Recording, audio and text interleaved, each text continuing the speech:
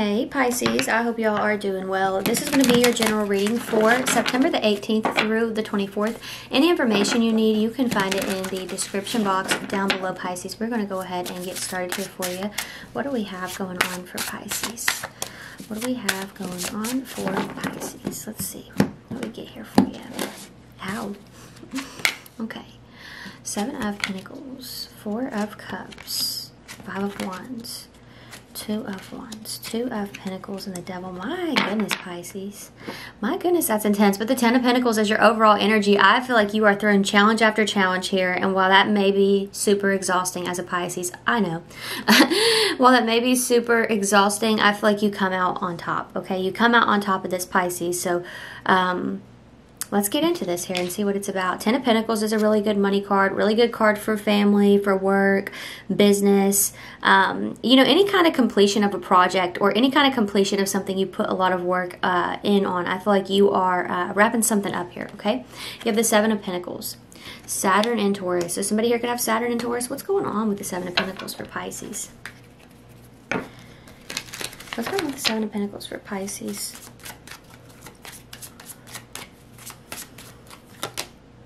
Four of Wands, Venus in Aries, Three of Cups, Mercury in Cancer, and the Hermit. We got Virgo energy.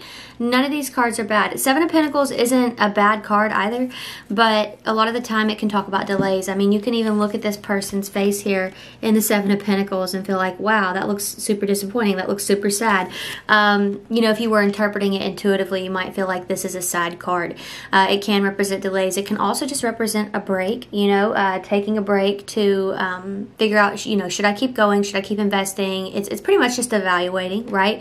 Um, we are in a retrograde right now, so that could definitely be the energy that you're in is evaluating. Now, some of you, the Hermit and the Three of Cups energy, you could be um, reconnecting with somebody here. I feel like if that's the case, you're gaining some kind of clarity. The Hermit, this is somebody who is isolated, or you have isolated from this person here, Pisces, but um, you know, on the surface, it looks like there's some kind of disappointment here. But the Four of Wands, there is a celebration of some sort. So um, I feel like you're going to be celebrating something. So for some of you, yes, there could have been delays. And now those delays uh, are coming to a close here, okay? Three of Cups is everything coming together here. It represents a harvest. And you have the Hermit, okay? So that can be a card of introspection. Um, it's a card of looking within, basically. Sometimes withdrawing from a situation. But I feel like you, mainly, I think that you've already withdrawn. You've gained some knowledge. You've gained some wisdom wisdom, some insight in regards to something here, and I feel like you're able to apply that um, in some manner to bring about this um, energy of the Three of Cups and the Four of Wands, which is celebration, a coming together of some sort. Now, next you have the Four of Cups. Somebody here could have their moon in Cancer. We're going to look and see what's going on with the Four of Cups. What's going on with the Four of Cups for Pisces here? What's going on with the Four of Cups for Pisces? Five of Pentacles.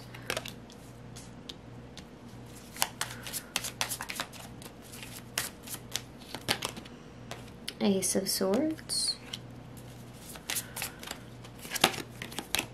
And then Knight of Swords, Gemini energy. We're going to go ahead and take that one because it wanted to come out to Justice. Okay, good. Um, good, because these cards look a little bit heavy here. Uh, the Knight of Swords, he's turning his back on something here, okay? He's impulsively moving towards something else. Pisces, I feel like you have other things on the, or you have had other things on the brain here is what I should say, because this Five of Pentacles and the Ace of Swords, I think there have been some money problems here that you've been avoiding, or there's something to do with your finances that you've been just, you've not wanted to look at it. I feel like you're getting that back on track, especially considering the fact that you know you got the ten of pentacles as your overall energy so money is obviously uh, you know not bad or it's at least on the path to improvement here. Because in the four of cups uh, she's avoiding what that you know what's in that cup as well. She's not looking at that. But the ace of swords i feel like you're finally getting clear about what needs to be done here. You're like what do i need to what do I need to do basically in order to get this on track? And I think with justice showing up here, uh, you're able to finally do that. You're able to finally see what it is that needs to be done here in order to get you to this Ten of Pentacles and maintain it. Maintaining it is the key. So you have the Five of Wands here. Someone might have Saturn in Leo with this card showing up. You don't have to, but um, it is the energy of that card. Let's go ahead and look at the Five of Wands for Pisces here. Five of Wands for Pisces. What's going on with this here for Pisces, please? Five of Wands.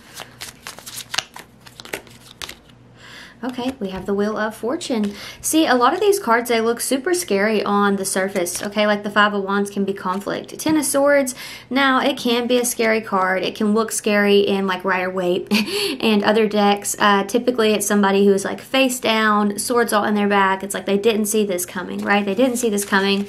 But here in this deck in particular, she's got the birds surrounding her. It's like there's this... Um, there's this energy of freedom that comes with that card, okay?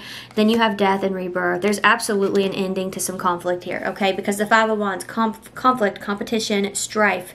Um, you know, this could even be games that have been played with an individual. Something's gone down here that, uh, you know, has caused some issues for you, and it's it's ending. That's why the Ten of Swords is here.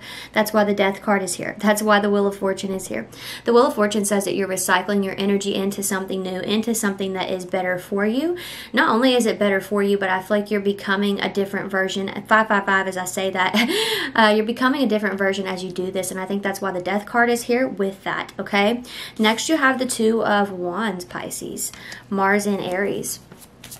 What's going on with this Two of Wands energy here for Pisces? The Page of Pentacles, Earth, Taurus, Virgo, Capricorn. I feel like you're having some conversations um, with new people here about work, about business. I feel like you're meeting with some people here who have a lot of influence. You have the High Priestess here as well. We got Pisces energy with that one. And one more for this the Two of Cups. Yeah, face-to-face meeting here. Uh, three twos showing up, Pisces, so that could be significant for you. You could be seeing 222 a lot.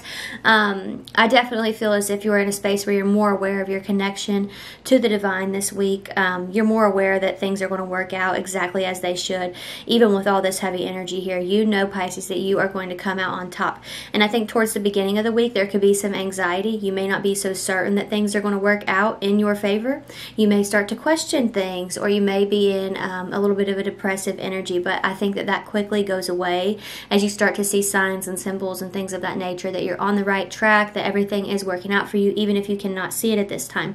High Priestess can represent things that cannot be seen at this time, but also your intuition. So I think that once you weed out all these heavy emotions, you're able to really listen to that in full, Pisces which is some advice that I could take myself as a Pisces. Absolutely. Absolutely, I could because this looks like, you know, on the surface, things look bad. You know, when I first pulled these cards, things look bad on the surface. But as we get into them, they're actually pretty powerful changes going on for you, Pisces. It mainly feels like all this conflict is coming to an end. Not that it's coming up, not that it's getting worse. It feels like most of this is coming to an end. You're seeing more clearly. Um, so, this Two of Pentacles energy here, Jupiter in Capricorn, what's going on with this? I love readings like this because on the, on the surface things seem like one thing, and then you and then you get into it, and um, you know I love the depth of it. Absolutely. What's going on with this? Nine of Swords, Hierophant. Ten of Wands.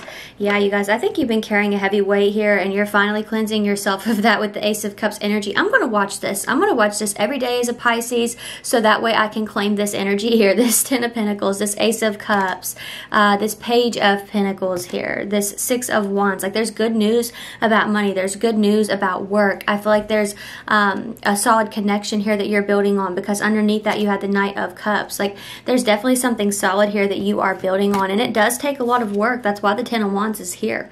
This is something that takes a lot of work, Pisces. Um, but anything of value, of course, is going to is going to do that. You also have the Hierophant and the Nine of Swords. I think that you're reflecting on this painful situation. We did have the Moon show up just a little bit ago. I think you're reflecting on a really painful situation. Okay, something that was very inconsistent, up and down, fell apart a lot. You had to rebuild. You know, um, I feel like you're finally allowing that to end. Okay, I think with the Nine of Swords, you're wrapping that up and you're just looking ahead. You're like, where where can I go from here? You know, how can I elevate from here? Because I know there's a lesson within this. I know there's a lesson within this. So I feel like you're building on other things at this time here, Pisces. Uh, somebody had something similar, but basically you're choosing not to let anything get you down. And like I said, that Ten of Pentacles energy. You're coming out on top despite everything you're up against. You have the devil right here, Capricorn. Um, what's going on with this? What's going on with this devil for Pisces? Ace of Cups. Mm -hmm. you're allowing some kind of toxic energy to just kind of fade away is how this feels to me with the ace of cups. You're just allowing that to melt away. If you have any anger any resentment any bitterness towards people towards you know life towards love whatever the case may be here for you pisces i feel like you're allowing that to completely melt away. Um, you're wanting to be more open and receptive uh, more connected to everything okay? What else here like you don't want this devil to cause um, oh, what would you, like you don't want this devil to build walls is basically the energy that I feel here. There's something that you've held on to and you, you start to see more clearly how it has built walls between you and other things that you have wanted for a long time. Pisces, whether it's this Ten of Pentacles, whether it may be love with the Ace of Cups, um, you're realizing how it's kept you from things. So I think that with the Ace of Cups, you're, you're cleansing yourself of that. I feel like you're just allowing any kind of bitter energy in your heart to melt away so you can be more open and receptive to the things that you're wanting to manifest here because you're always manifesting. You don't have to be trying, right? you don't have to be trying. You're always manifesting. So if you're always in the devil energy or you know even a little bit of the time when you're in the devil energy uh, you can definitely be manifesting more of that. And sometimes we're meant to experience that obviously. So we're going to be calling that in from time to time. It's just it's how it is. But i think that you're in a space where you're becoming more aware of it and you know you're trying to um, actually call on what you want. Actually give energy to what it is that you want, not what it is that you don't want. Um, we have Virgo and Gemini with that magician. What else do we have for this? What else do we have for this? Okay, we have the Emperor. Okay, so an Aries card here showing up with the Emperor. Um, and the Emperor is somebody who takes responsibility. I feel like you're also taking accountability for that devil energy, for chaining yourself to it, whatever that might have been for you, whether it was a relationship, a terrible job, a terrible living space, whatever it was for you, Pisces. A lot of problems are ending here, and I like it. I like it. As a Pisces, I'm going to claim this because even again, it's just, it's so amazing to me how on the surface everything looked so terrible, but it looks like you're letting go go of all of this. Like this is triumph over obstacles right here with the chariot Pisces. I love that. I love that. Um, I do read for you over on Patreon. I read on Instagram. I read on TikTok. I also have another channel Pisces. Everything is linked down below for your convenience. Thank you all so much for watching. Bye.